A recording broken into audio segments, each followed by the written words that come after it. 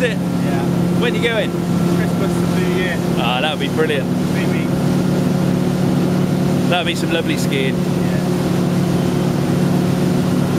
And they've got Disney World, obviously. Then, And don't forget Disney World. oh, I'm bored of that now. Uh, have you been? Disney park so many times. Have you? Disney World, Sea World, they're all. You been to Universal? Yeah. I Uh, Universal's the best one though. Yeah, I've heard that. I would go back to Universal. But the rest are like, kind of get a little bit boring after a while. You've been on the all. They're heading now, guys. What about that uh, African thing that Disney are doing now? That that sort of like a safari type theme. Like that. Well, I heard it was the same place as the Magic Kingdom, but it's like an extra land that they've created. Animal Kingdom. Yeah, something like that. Pay